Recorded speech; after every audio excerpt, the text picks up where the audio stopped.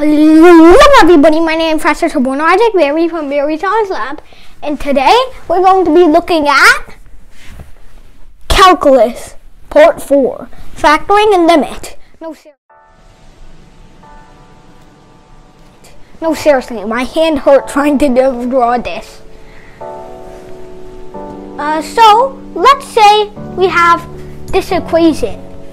Uh, f of x equal x squared minus 16 over x minus 4. What is the limit of f of x as x approaches 4? Well, this is not so simple.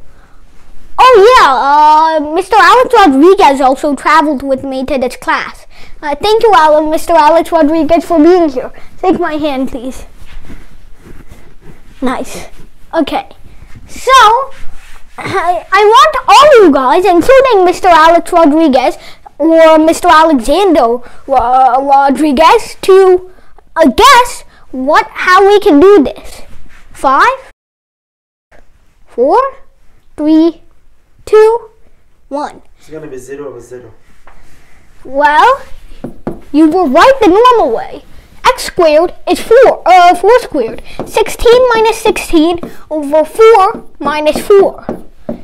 0 over 0. And that's going to tell you, get you in a bit of trouble with the math police.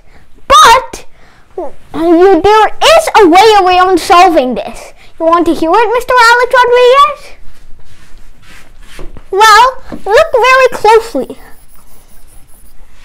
This is actually a difference of squares. So, when you factor this difference of squares, this is what it would give you. x plus 4 times x minus 4. And we divide that by x minus 4. And what we can do next is we cancel out x minus 4 and x minus 4 to get x plus 4. However, let's see how this looks when we graph it, because it's also not that simple. We will prove this on Desmos for those keen on that simulation.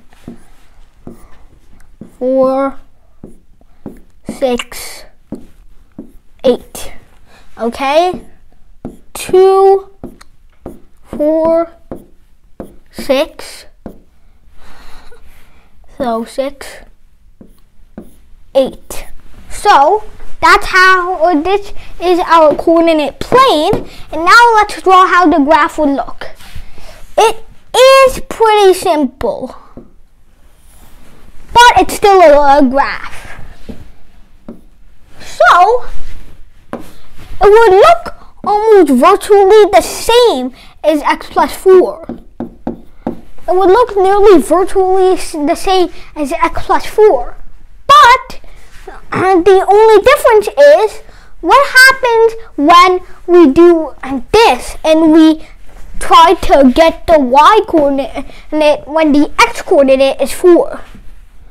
So what, when the x coordinate is 4, oh, didn't quite draw that one right. Oopsies. So, if I plot the point 4, since uh, is at 0, 2 at 6, uh, and then 3 is at 7, 4 is at 8, and it would virtually look like this. But the uh, problem with this model is uh, well, it doesn't account for what happens here because you see this is an open circle. Or not no and not an open circle but this place is undefined on the graph. Since you know uh, you got in a little bit in trouble with the math police this is an undefined point on the graph. So even Desmos tells us this. So if we open up our handy tool Desmos oh uh, we have a visitor incoming Guys, wait. Hello. Bye bye.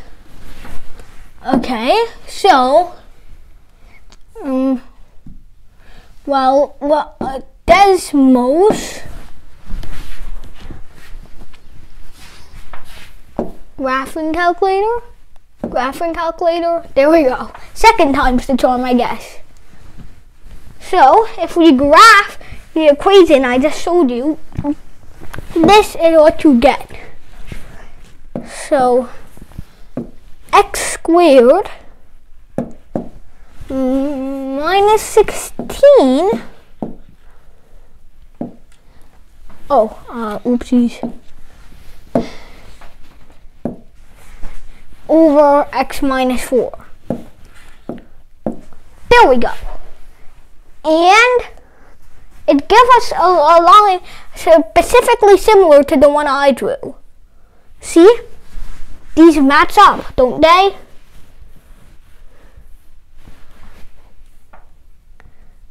Well, just to make it, them feel more similar, I guess, we can always just do this, reverse the colors, and they look similar, don't they? Especially similar if we make them similar colors. Now they look similar, don't they? Yeah, I thought so. But then, when you get the x coordinate of 4, you mouse over that. 4 comma undefined. See? 3.95, 7.95. And it goes there, and then undefined. And you can clearly see this is the same as x minus, uh, plus 4 as well. Because if we graph that, it covers the exact same trajectory. So, thank you everybody for watching. This is the uh, episode 4 of Calculus, Factoring with Limits, and we'll see you next time. Bye. Brilliant. Oh yeah, oh I forgot. Uh, Brilliant was is today's sponsor.